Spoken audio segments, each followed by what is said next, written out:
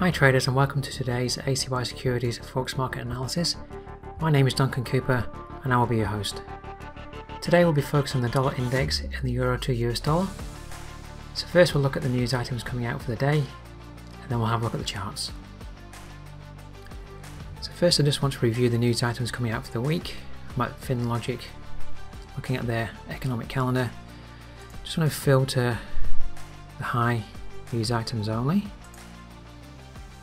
and time shown our Queensland time. So I'm reviewing the Euro US dollar today, so I just want to see what can affect that particular pair throughout the week. So today we do have the German business climate coming out at 6 o'clock. That could affect the Euro US dollar. Into Thursday, the German consumer confidence and the US durable goods orders. Those two items could affect the Euro US dollar. Into Friday, we've got the US personal spending and personal income coming out. So again, those two items could affect the Euro US dollar. So just make note of those. Okay, so let's move into the charts. And first up, we'll have a look at the dollar index. Okay, so on the monthly chart, I did review this last week, so I just wanted to touch base with it. So on the monthly chart, we've been holding at old resistance highs back from 2000 and 2008. They're at uh, 88.71 and 89.62 and nothing's much changed. We're still holding on these levels. So I'll just move through the time frames on the weekly we can see that maybe we're putting in a double bottom here. And I'll be discussing that on the euro US dollar today. Uh, moving to the daily we can see for the last week we've just been having a day up day down day up day down sitting on top of this level of support and notably on the 4 hour chart, I have noted that we have a little bit of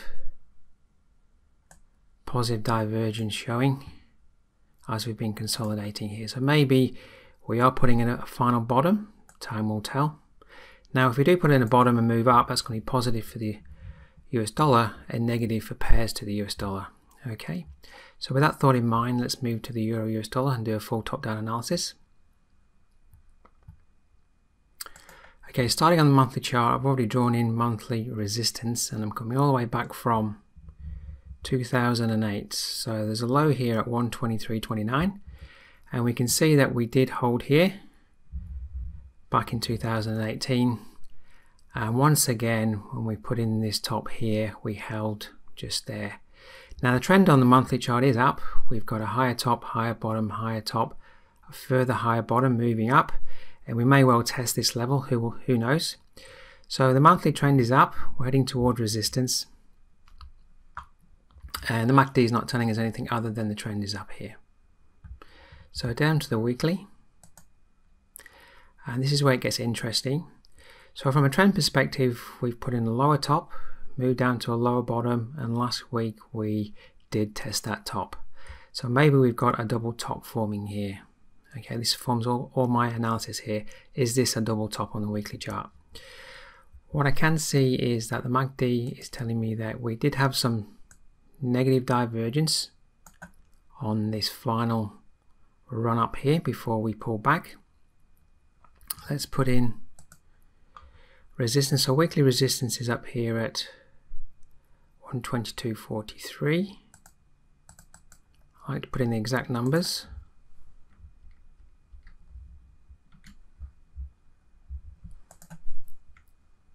and uh, weekly support is all the way down here that's at 117.04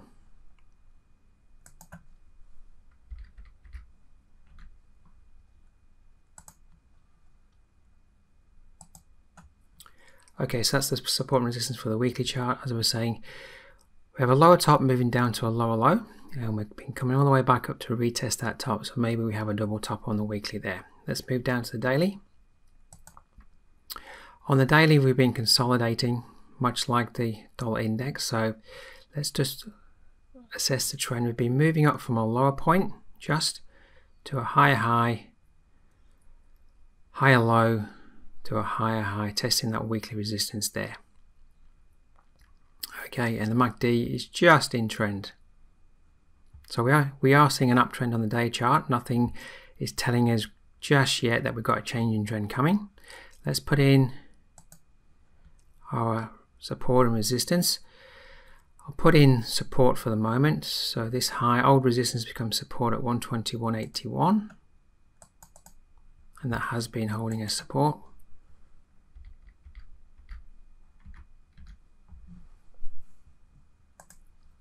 We move further down, this next top here will be support. That's at 121.50.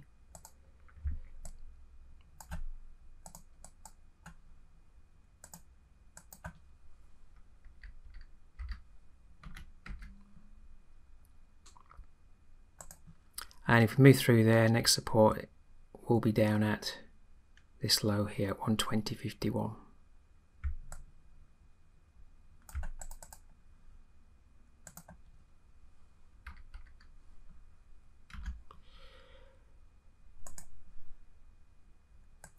Okay, and daily resistance is last week's high up here at 122.45, which is almost the same as this level, so I won't draw, bother drawing that in for the moment. So on the daily, just to review, moving up to a higher top, higher bottom, another higher top, but we're heading into weekly resistance. So is there a double top forming here? Since we've touched that level, we've been consolidating. We've been having a day down, day up, day down, day up. Okay, so maybe we're just holding there. We're either going to move through to retest monthly resistance or we're going to fail here. We might see a nice decline down, all the way down, maybe to test this weekly support down here. Time will tell. So I'm just being sitting on the sidelines waiting to see if this can reverse back down. So let's move down down to the four hour chart. And what are we seeing? Well, I'm seeing that we're just consolidating. This is that daily support that we're holding above. We just keep dipping down and then moving back above. Dipping down, moving back above. So we've got equal lows pretty much here slightly higher bottom just there. So moving from the top, we've moved down to a higher bottom, lower top, higher bottom. This is maybe putting in a lower top, so it's a little bit mixed, but we are starting to get a series maybe of lower tops, and this might break down over time. Okay, so just putting in four hour support, I'm going to use this low here, that's at 120, 160. I like put in the exact number.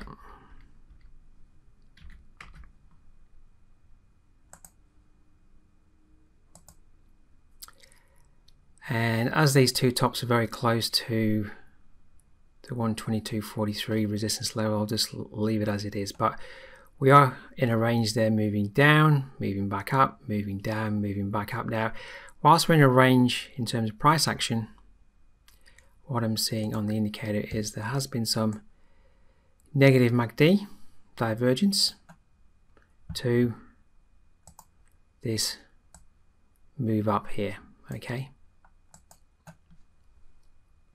so with that in mind it is giving you a bit of a sign that it might be changing its trend on the 4 hour chart and then it might then change the trend to the daily chart so at the moment I am on the sidelines we are still just holding above the 122 figure level. If we could break down below that level and then move back up and test 122 and that becomes resistance, that would be great. So for me at the moment, because it's in a range and it's not really establishing a downtrend yet, I'd like to see a downtrend established. So I'd like to see price break through this area of support, then come back up, hopefully retest 122 and at that level I'll be looking for an opportunity to sell on a lower time frame with a further move down. So if it does break down like I'm showing you I'll be drawing a fib in to watch the rally back up. If it can rally back up to the 62 level or the 79% level of that move down then I'll be looking on a lower time frame to get in for for the move down. And hopefully then that starts to confirm the weekly double top. So if we move back to let me just draw, so I take these off, clear things up a bit. If we move back to the weekly chart for a moment, okay, and uh, if I draw a fib in from this high to the low, then you know if we can get in and sell here around about 122 you could if you want to be a position trader putting your stop at 123 just taking profits down at weekly support which is at 117 would give you a risk reward of 1 to 5 okay so that would be an excellent risk reward trade if you could get in. So as I say I'm going to monitor the 4 hour chart see if price can break down and then sell a rally and then over the long term try to target the weekly support level here at 117 okay so that's my analysis for today and I look forward to seeing you next time